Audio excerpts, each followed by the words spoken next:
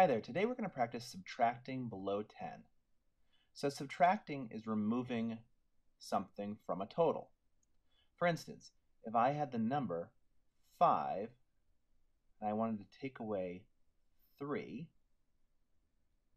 I would be subtracting, I would be removing 3 from this. Today we're going to use two different strategies. One is called take away, take away. And the other strategy we're going to use is called counting on.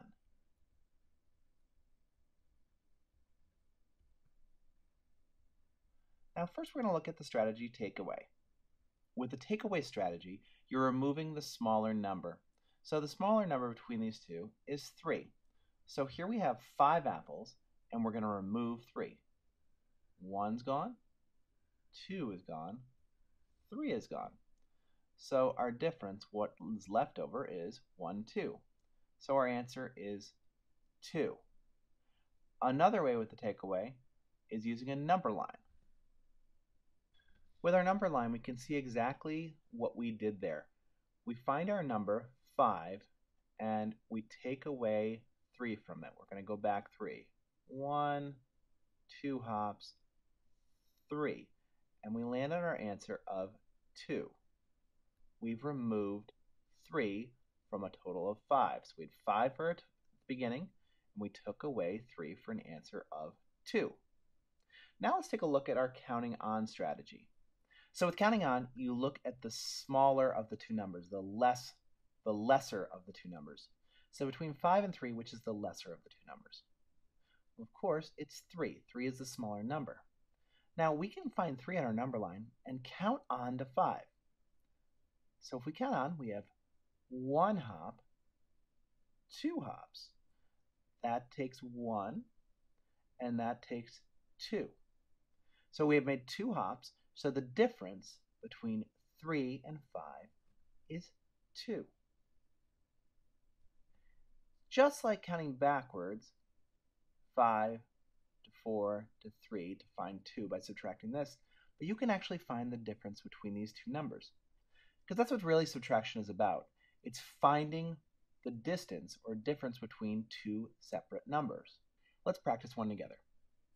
Now the larger number is 6, and we're taking away 4 from it.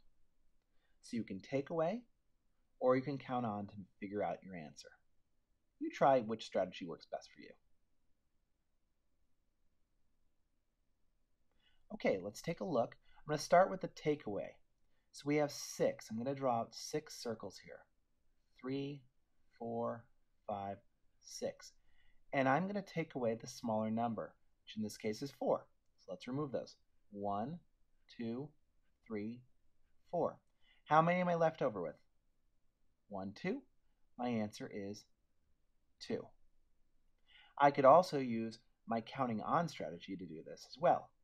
Start with the smaller number, 4. And I'm going to count up to 6. So I have 4, 5, 6. I had to go two hops to get to that number. 4 to 5, 5 to 6. One hop here, another hop here, for a difference of 2. That's the distance between 4 and 6 is 2. 6 minus 4 is 2. Great job! Finally, here we have a word problem.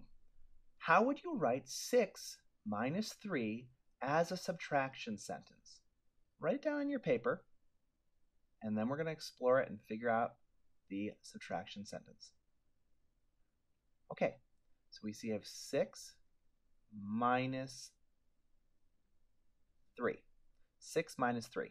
So, as a subtraction sentence, we'll take the 6 and we have the 3. Minus tells us something. Are we adding or subtracting? We're subtracting, so we're going to put the subtraction symbol, which is that slash. And now we have the subtraction sentence. 6 minus 3. Now, let's figure out what our answer is, what our difference is going to be. 6 take away 3. Use one of your two strategies. Remember, we've been reviewing take away and counting on. So this time I'm going to take away again. One, two, three, four, five, six. Remove three, one, two, three, and we have a difference of three. Great job. So today we've been practicing subtracting below 10. We reviewed two different strategies, takeaway and counting on. Use these to do a lot of great subtraction work. Great job, and talk to you soon about math.